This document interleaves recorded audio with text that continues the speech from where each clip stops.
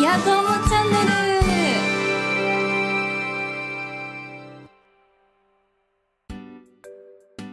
かすみニッツ。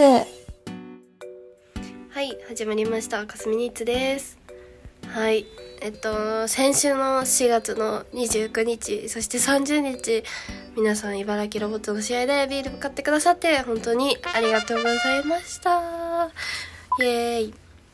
はい皆様のおかげで無事に2日間を乗り切ることができまして本当になんかたくさんの方にお声かけいただいてなんかびっくりしました。だから両日両日ともにその4,000人近いね方が来てくださって多分何もしてなくてもビールは普通に売れたと思うんですけどもう私からビール買いたいっていう方がねたくさんお声かけいただいてもう本当に嬉しかった2日間でございます。差し入れとかプレゼントまでいただいちゃったりして本当にありがとうございました。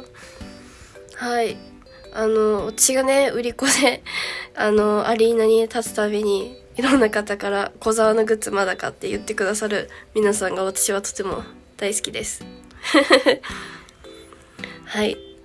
本当はその今回が本当の本当に売り子最後になるかもなって思ってたんですけどまああの皆さんからね30になるまでは最低やってくれっていうことだったのであの機会を見てもしできたらまたやりたいなとは思ってます。はい。ということで取り急ぎ29日30日のお礼でございました。